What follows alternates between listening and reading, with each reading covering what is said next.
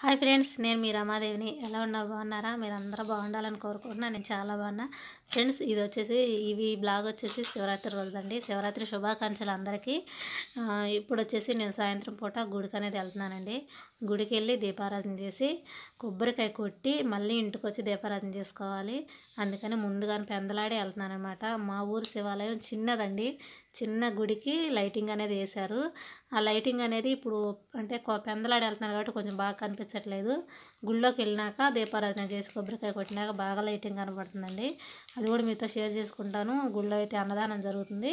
చూడండి అక్కడ వంట అయితే వంట అయితే అవుతుంది. వంట అయితే కూడా చూశాను చూపించాను. ఇక్కడ వచ్చేసి ప్రభ ఉంది చూసారా? అక్కడ ముంగట గుడి ముందు ప్రభ కూడా తీసుకొచ్చి ఉంచారు.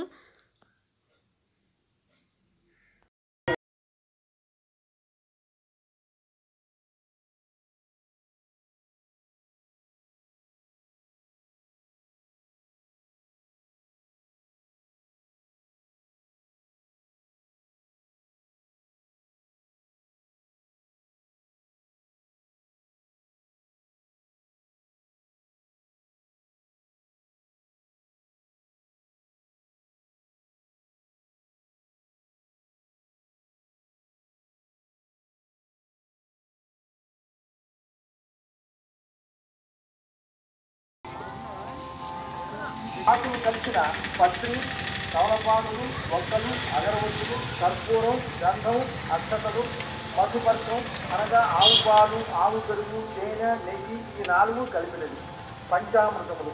రంగులు వేసిన వినాయకుడు గ్లాస్తో నీళ్ళు పళ్ళెం. కదా. కానీ కొన్ని అక్షు పుస్తకములలో సంకల్పము తరువాత సంక్షిప్త పూజ ఇచ్చి తరువాత ప్రధాన పూజ ఇవ్వబడినది. అయితే ఈ క్యాసెట్లో మాత్రము ప్రధాన సంకల్పం అనేది కేవలము వచనము మాత్రమే. మంత్రాలు కానీ శ్లోకాలు కానీ ఏమీ అందులో ఉండవు. అయితే అది సంస్కృత భాషలో ఉంటుంటే అందరికీ అర్థం కాదు. ఏ పని ఎప్పుడు ఎక్కడ ఏ రోజున ఎందుకై ఏ కోర్కెలతో ఎలా చేస్తున్నామో చెప్పటమే సంకల్పం అంటే. అట్టి మీకు కారణం. దైవము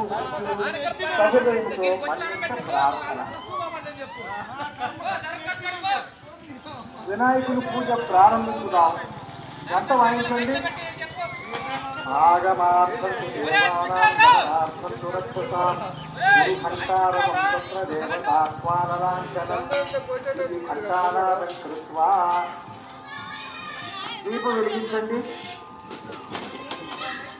ఇప్పుడు వినాయకుని ధ్యానం చేసుకోండి శుక్లాంబరధరం విష్ణు వర్ణం చతుర్భుజం ప్రసన్నవదనం ఛాయే సర్వవిఘ్నోపశాంతే సుముఖశ్చైక దంతశ్చ కపిలో గజకర్ణక లభోదరశ్చ వికటో విఘ్నరాజో గణాధిపः సోమతే దుర్గణాధ్యక్షः ఆలచంద్రో గజాననः వక్రతుండస్వోపజన్నः హేరంబస్కందపూర్వజः షోడశైతాని నామాని యప్పటే శృణుయాదపి విద్యారంభే వివాహే చ ప్రవేశే నిత్యమే తథా సంగ్రామే సర్వకార్యేషు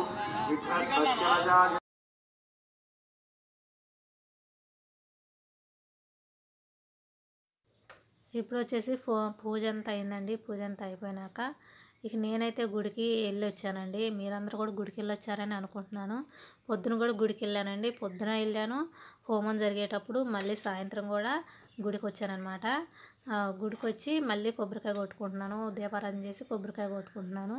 పొద్దున పూట హోమం జరిగేటప్పుడు వచ్చాను. మీరు కూడా వెళ్ళారని అనుకుంటున్నాను.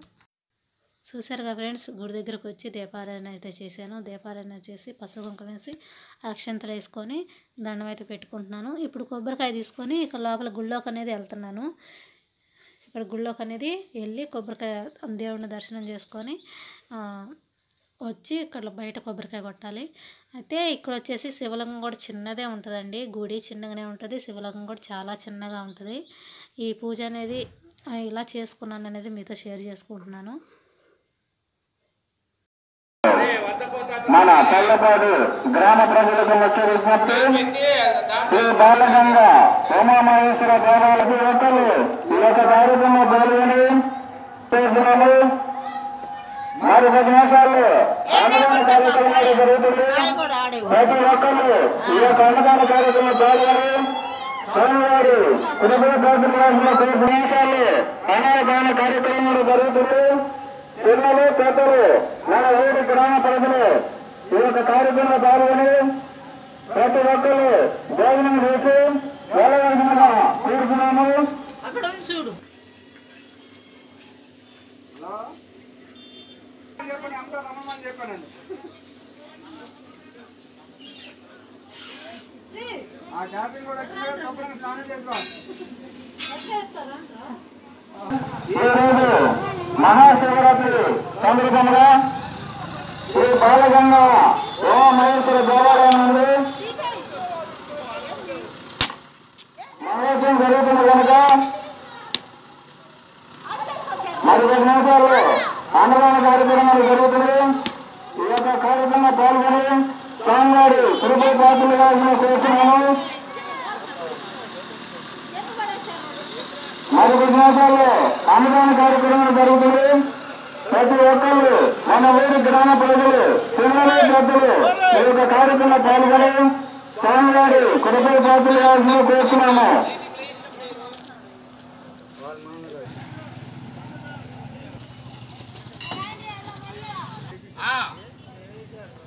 మాగా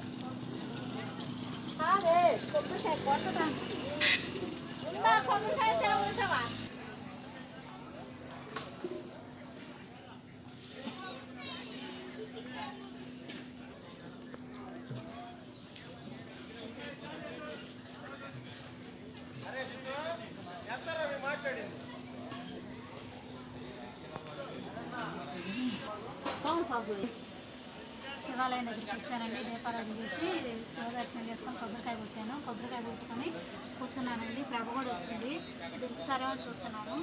దించితే అది కూడా తీసుకుందాం అంటుంది. మీతో షేర్ చేసుకోవాలని ఇక వచ్చేసి ఇంటికి లైటింగ్ అంతా చూసారు కదా శివాలయంలో. చిన్న గుడి అండి. మా ఊరు శివాలయం చిన్నది. చిన్న గుడి అనమాట అది మీతో షేర్ చేసుకుంటున్నాను.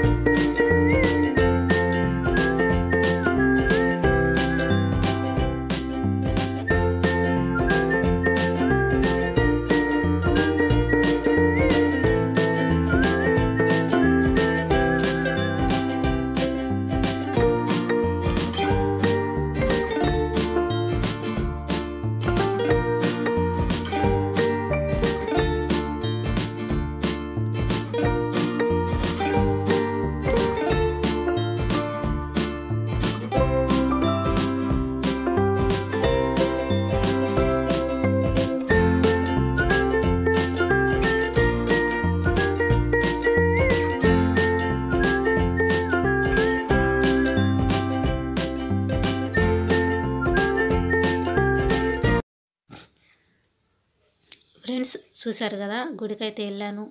దీపారాధన చేసి కొబ్బరికాయ కొట్టి దేవుడి దర్శనం చేసుకొని కూసేపు అలా కూర్చొని గుడి చుట్టూరు కూడా తిరిగి వచ్చేసాను. వచ్చి వెళ్ళేటప్పుడు ఫ్రెండ్స్ ఇక్కడ చూసారా అన్నదానం అని చెప్పా కదా అన్నదానం జరుగుతుంది. అందుకని వంట అయితే అవుతుందండి వంట అయితే పూర్తి ఇంకా వంట అయితే ఇంకా ఏంటిదో కానీ చేస్తున్నారు చేసినాక తర్వాత వచ్చేసి ఫ్రెండ్స్ ఇంకోటి ఏంటిది పొద్దున పూట ఇనాకిడిది హోమం చేశారండి. హోమం కూడా తీసినట్టయితే బాగుండేది అనిపించింది. హోమం కూడా మీతో షేర్ చేసుకున్నట్టయితే బాగుండేది. పొద్దున పూట గుడికైతే వెళ్ళాను కానీ అక్కడ తీయటానికి అస్సలు కుదరలేదండి. తీయలేకపోయాను వీడియో అనేది. తీసి మీతో షేర్ చేసుకోవాలనిపించింది కానీ తీయలేకపోయాను. కొన్ని కొన్ని సిచ్యువేషన్లు అసలు తీయలేమండి. అసలు తీద్దామన్నా కానీ ముందుకు వెళ్ళలేమన్నమాట అంత అనిపించింది అది మటుకి ఒక్కటే షేర్ చేసుకోలేకపోయానండి. అది వచ్చేసి ఇంటికి వచ్చానమాట ఇంటికి వచ్చినాక బ్లాగ్ అండి. దీపారాధన చేశాను. ఆ దీపారాధన చేసి గుడికి వెళ్ళి వచ్చినాక దీపారాధన చేసుకున్నాను. ఆ దీపారాధనదే ఇప్పుడు మీకు చూ చూపెడుతున్నానండి. చూడండి శివరాత్రి రోజు నేను ఇలా పెట్టుకొని దీపం తెల్లారి ఉపవాసం విడిచిందాక మళ్ళీ మనం అన్నం తినిందాక తెల్లారి అన్నం తినిందాక దీపారాధన ఇలానే వెలుగుతూ ఉండాలి. ఆ దీపం అనేది మీతో షేర్ చేసుకుంటున్నాను నేను.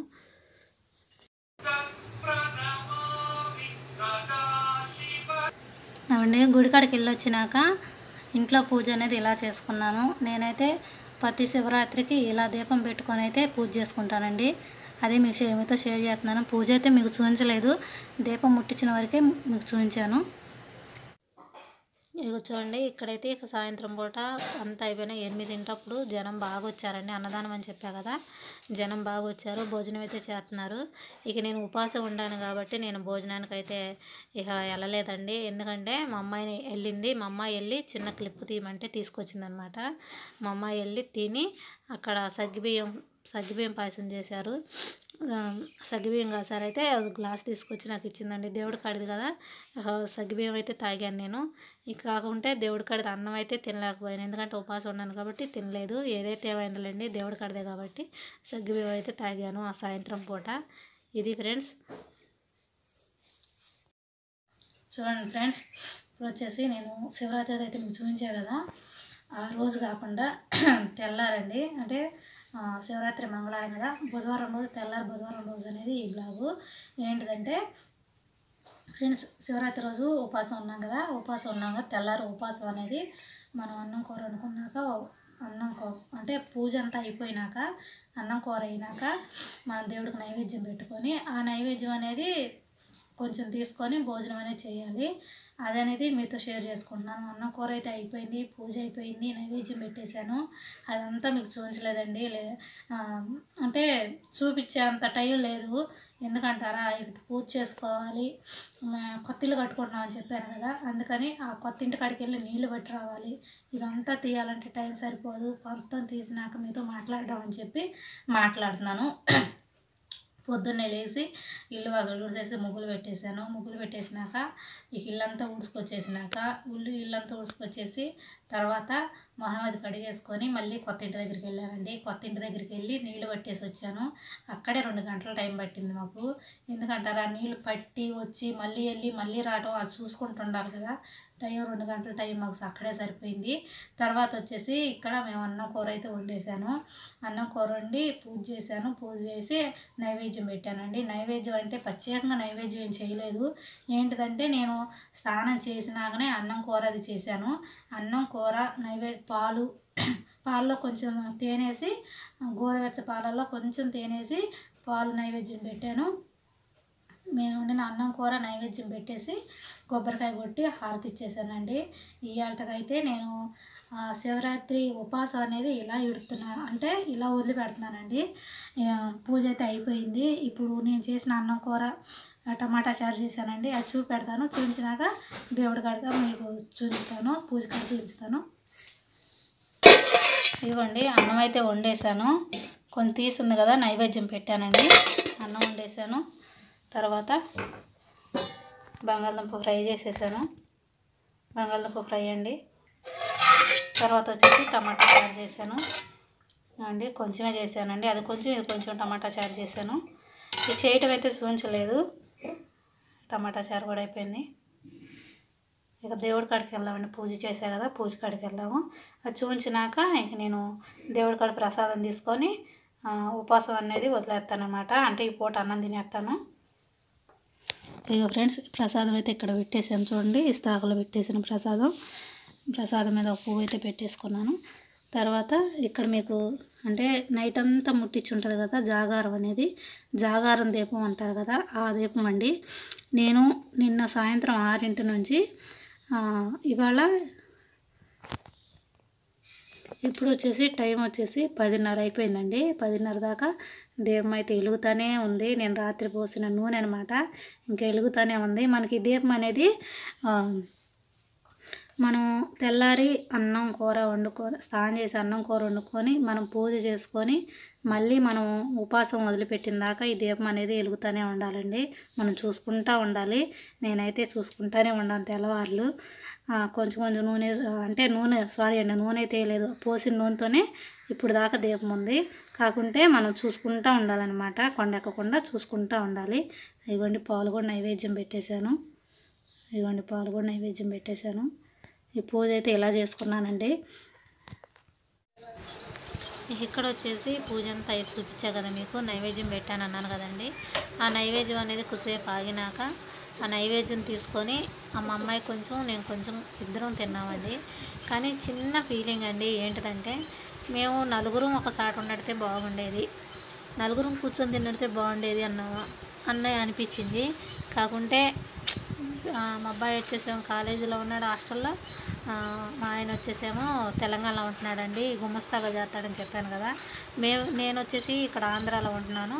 ఆంధ్రాలో ఎందుకు ఉంటున్నానని కూడా చెప్పానండి చాలాసార్లు. ఆంధ్రాలో ఇల్లు కట్టుకుంటున్నామని చెప్పా కదా ఇల్లు కట్టుకుంటున్నాం కాబట్టి ఇల్లు కట్టుకుంటా ఉంటున్నాం కాబట్టి నేను ఇక్కడ ఉండాల్సి వచ్చింది ఇల్లు చూసుకోవాలి కదా. అందుకని చెప్పి నేను ఇక్కడ ఉండాల్సి వచ్చింది. అందుకని ఈ పండగ అయితే మాకు ఇలా అయిపోయిందండి. మా ఫ్రెండ్స్ చూశారు కదా దేవుడికి నైవేద్యం అయితే ఇక ఉపాసం అయితే ఇడుతున్నాను నేను దేవుడికి నైవేద్యం అయితే తింటున్నాను. ఇది తిన్నాక మళ్ళీ కలుద్దాం. సరేనా? ఫ్రెండ్స్ ఇప్పుడు వచ్చేసి నేను ఇందాక భోజనం చేస్తున్నానండి అని చెప్పి మీకు చూపించాను కదా. ఆ భోజనం అయిపోయినాక మళ్ళీ మీతో మాట్లాడుతున్నానండి. ఫ్రెండ్స్ ఇప్పుడు వచ్చేసి ఏంటిదంటే ఫ్రెండ్స్ నేను కొంచెం నీరసంగా మాట్లాడుతున్నాను. కొంచెం టేస్ట్ డల్గా ఉంది. ఎందుకు అలా ఉండారు అనుకోవద్దు. ఎందుకు అలా ఉండాలని నా మాట కూడా కొంచెం చిన్నగా పెద్దగా మాట్లాడదాను రావట్లేదు. నా మా- మాట కూడా డల్గా అవుతుందండి ఏమనుకోవద్దు. ఎందుకంటే నిన్నటి నుంచి ఉపాసం ఉన్నా కదా ఉపాసం ఉండి ఇప్పుడే మీ మీకు మాట్లాడే ముందే నేను అన్నం తిన్నాను అది ఫ్రెండ్స్ ఇప్పుడు తిన్నాను కాబట్టి ఆ తిన్నాక ఇప్పుడు మీతో మాట్లాడాలి కాబట్టి మాట్లాడుతున్నాను. ఇది ఫ్రెండ్స్ మా ఊరి కూడా అనేది మీకు చూపించాను మా ఊరి గుడి అనేది చిన్నది కదా అన్నదానం చేశారు. చాలా బాగా చేశారండి. హోమం గణపతి హోమం చేశారు. గణపతి హోమం కూడా తీస్తే బాగుండేది అనిపించింది. కానీ తీయలేకపోయాను. అది కూడా తీస్తే బాగుండేది. అన్నీ షేర్ చేశాను కానీ ఆ గణపతి హోమం ఒక్కటే మిస్ అయిపోయిందండి. అది కూడా తీస్తే బాగుండేది. అదే తీయలేకపోయాను. ఇది ఫ్రెండ్స్ ఈ వీడియో నచ్చిందా? నచ్చితే కనుక లైక్ చేయండి. కొత్తగా నా ఛానల్ అయితే సబ్స్క్రైబ్ చేసుకోండి. నెక్స్ట్ వీడియోలో మేము ముందుంటాం సరే ఫ్రెండ్స్ బాయ్. కమెంట్ చేయండి లైక్ చేయండి. బాయ్.